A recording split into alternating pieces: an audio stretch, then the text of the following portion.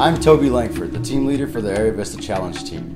We're an international team participating in the 2014 Wildlife Conservation UAV Challenge. Our team members are Jonathan Perot, software specialist, Mohammed Kabir, software and hardware specialist, Joshua Johnson, our 3D CAD specialist, Kenny White, our AV and our Linux specialist, I first got into the industry of UAVs after I watched a documentary um, outlining the uses of UAVs in both the military and civilian context and I thought it would be great if we could harness this new technology to give humanity a better chance of doing everything they can.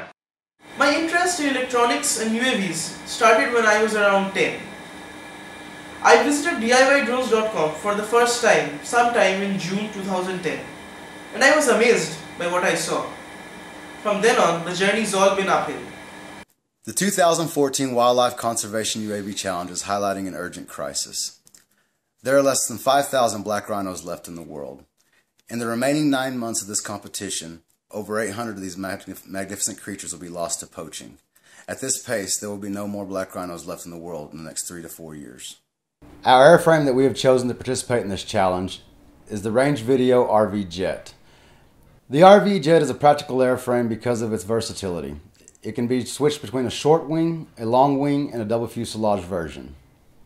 Another reason that we have chosen the RV Jet is that it has a very unique feature in the modeling world. It has a full pan and tilt camera gimbal with an inexpensive clear dome. You have three connections. You have your camera, power, audio, video in, and you've got your pan and tilt servos, all built within the same pod. In the short wing configuration, the RV Jet can be used as a high-speed tactical vehicle. It can reach speeds of over 90 miles an hour with an endurance of over 45 minutes. In the long wing configuration, the RV Jet can be used as either a strategic or tactical vehicle with an endurance of over 90 minutes and the top speed of over 60 miles an hour. In the double fuselage configuration, the RV Jet can be used as a long-range strategic reconnaissance vehicle.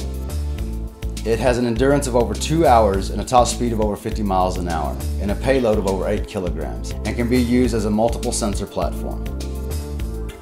The Lankford Group and Aerial Vista chose to participate in this challenge because it seemed a natural extension of our passions of UAV work and conservation. Our home and offices are completely off grid.